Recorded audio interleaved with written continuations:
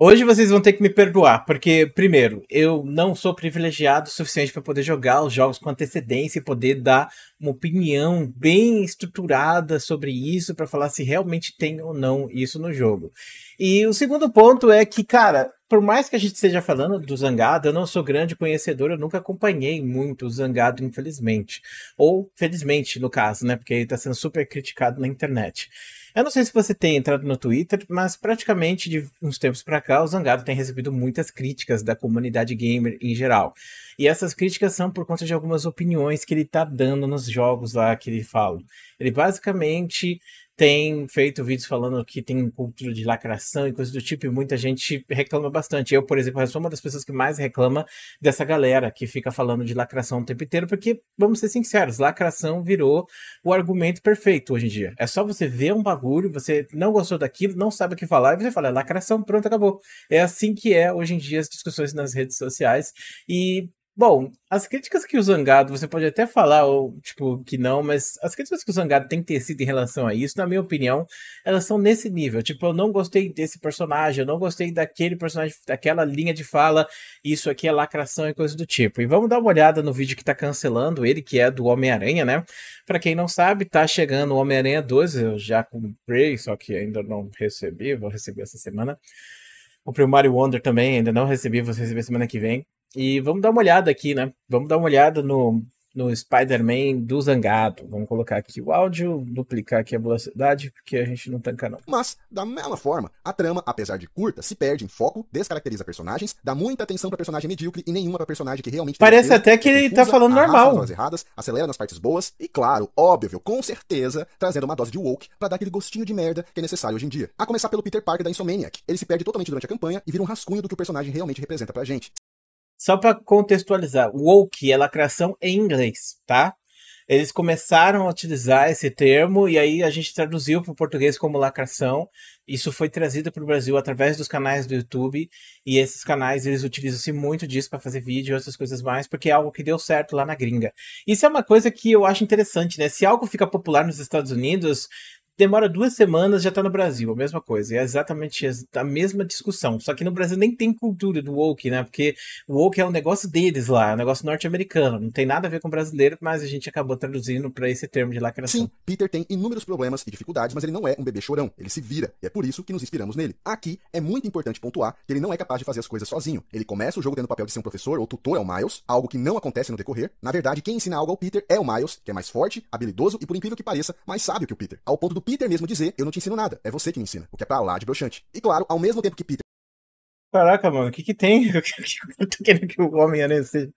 Eu gosto do Miles, cara. Eu acho mais legal pra caramba, mano. Eu espero que ele tenha bastante destaque, porque eu vou jogar só com o Miles. Espaço, ele ainda precisa ter uma crise de relacionamento com Mary Jane, da qual ganhou ainda mais destaque do que nunca, com muito mais trechos de gameplay que não fazem o menor sentido. Se liga, os capangas de Craven, que são caçadores treinados e doutrinados pelo maior caçador do mundo, são abatidos um a um em furtivo por Aí ele reclama que a Mary Jane ela tem poderes pica das galáxias, né? E por causa disso não fica uma dissonância narrativa, né? Uma dissonância ludonarrativa, que é quando, por exemplo, o gameplay não remete à lore do jogo, que está acontecendo na história. Por exemplo, Last of Us é um dos jogos que mais tem dissonância ludonarrativa que existe nos jogos de videogame. Porque enquanto o jogo passa uma história de perdão e coisas do tipo, ela tá, tipo, esbagaçando os caras, matando todo mundo, destruindo os cachorros do cara e coisas do tipo. Isso é basicamente dissonância ludonarrativa. É quando o personagem toma um tiro na cinemática e tipo, fica todo ferrado, e no jogo você toma 50 tiros, bebe uma aguinha e, e passou, entendeu? Mas aquele tiro da cinemática, não. Então isso é dissonância ludonarrativa, ele tem criticado isso. Eu não joguei para saber se essa parte é tão ruim assim. Eu vi outros criadores de conteúdo que eu gosto bastante falando sobre esse tema especificamente. Um desses criadores de conteúdo é o Ades, né? O Ades ele falou sobre isso, eu vou até pegar aqui para vocês verem o que ele falou sobre o tema. Ó, ele fez um comentário. Ele provavelmente deve estar jogando o jogo já e ele já tem uma opinião melhor. Então vamos lá. Eu curto o Zangado, inclusive eu conheci Dark Souls 1 e joguei lá em 2011 por conta dele. Esperei zerar para comentar e, mano, ele viajou bastante aqui. Eu não percebi nada disso que ele disse. E a crise entre ele e a Mary Jane é, exata, é extremamente curta no game. E os problemas em geral do Peter é, é por causa do traje dele. A única coisa chata mesmo é a gameplay com a Mary Jane, né? Que não, eu não gostava desde um, eu também não gosto. Espero que não seja muitas partes, porque isso já me deixa desanimado. Mas são poucas vezes e é curto também. Então tá de boas. O Zangado tá sensível demais e problematizou que, mais do que deveria no jogo. Essa é a opinião que o Hades fez aqui. E a gente tem o Nando Moura jogando também e falando aqui uma coisa que eu achei engraçado pra caramba. Rapaz, esse Homem-Aranha da diversidade é muito melhor. Ele tem raio, porra toda. Só quero jogar com ele agora. Peter Parker, agora só quero saber desse camarada aqui. Eu achei muito bom, mano, esse negócio do Nando Moura jogando Homem-Aranha, cara. Parabéns. Mas assim, cara, muita gente tem falado que, na verdade, o que o Zangado tá fazendo é uma estratégia uma estratégia de criação de conteúdo onde ele acena para esse público identitário, coisa que ele nunca tinha feito. Sinceramente, é a primeira vez que ele começou a fazer isso publicamente. Eu não sabia que o que o Zangado estava fazendo esse tipo de conteúdo até ver pelo Twitter. E basicamente ele tem reclamado disso, sabe? Ah, lacração aqui, não sei o que, botaram cultura woke, olha só, o que pegou a Expose foi um outro jogo que ele tava jogando, né? Que meio que deu esse ditado de cancelamento pra cima dele. Aonde basicamente ele tava jogando com um personagem e a personagem falava que não queria ajuda dele. Pronto, auto automaticamente isso fazia o personagem ser woke, aí detonou o personagem, falou um monte de coisa que. E aí eu achei meio tryhard, sabe? Eu acho que a maior parte das pessoas deve sentir essa sensação de que ele tá exagerando, sabe? E Bom, pode ser que seja uma estratégia mesmo para captar um público aí de direita que possa estar tá acompanhando ele, visto que muita gente está fazendo isso hoje, né?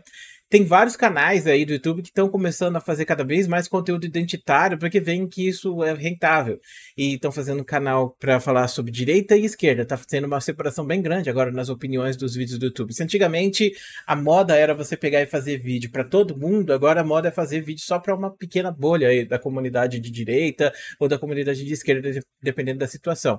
E é isso que tá fazendo esses canais terem sucesso pra caramba, né? Então aí fica o critério da gente, o criador de conteúdo, decidir se vale a pena pena a gente pegar e tentar ser mais isento nas nossas opiniões ou se vale mais a pena a gente tentar acenar? A gente ainda não sabe, porque Bom, tem alguns canais que se superaram fazendo isso e cresceram pra caramba fazendo esse tipo de conteúdo, mas será que esse vai ser o futuro de fato? Os canais de opinião começarem a dar opiniões políticas e todo mundo saber esses são os canais de direita, esses são os canais de esquerda, coisa do tipo? Não sei, viu? Mas eu conheço vários canais de opinião que vocês acompanham, inclusive, que estão começando a se posicionar nesse aspecto, estão começando a tomar decisões e trazer mais conteúdo, inclusive sobre essa própria treta do Zangado.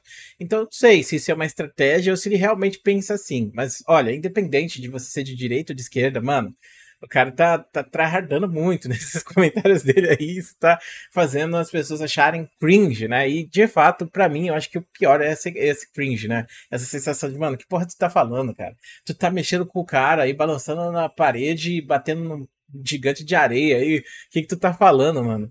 E o pior, né? Tipo, descreditando essas obras que Aí gera treta com o pessoal, né? Que é, ah, eu sou do PlayStation, eu sou do Xbox, e aí a galera começa a brigar, e, ah, e aí começam a utilizar isso, e aí vira uma treta viajada demais, e muita gente já deve estar chamando o, o, o Zangado de caixista, porque tem muito bolsonarista, né, que é caixista também, então, ah, sei lá, mano, sinceramente, não acompanho essas tretas aí. Eu até postei no Twitter esses dias que tá todo mundo brigando qual que é melhor, se é Starfield, se eu só tô me divertindo. Por exemplo, agora, eu peguei o Mario Wonder e o Spider-Man, eu vou jogar os dois, não preciso que um seja melhor que o outro, sabe? É o Spider-Man e o Mario Wonder são os dois dos melhores jogos do ano, os jogos mais esperados. Eu tava hypado pra caramba pra jogar o Spider-Man. E agora a galera vai ficar reclamando. Sinceramente, eu tenho cada vez mais me afastado um pouco da internet e dos criadores de conteúdo por causa disso. E eu acho que, no final, assim, quando eles estão fazendo esse tipo de conteúdo identitário, coisa tipo, isso gera hype, as pessoas vão falar sobre, as pessoas vão cancelar muito, mas no final do dia, a longo prazo, tipo, a curto prazo vai te dar visualização, mas a longo prazo, no final do dia, você perde bastante.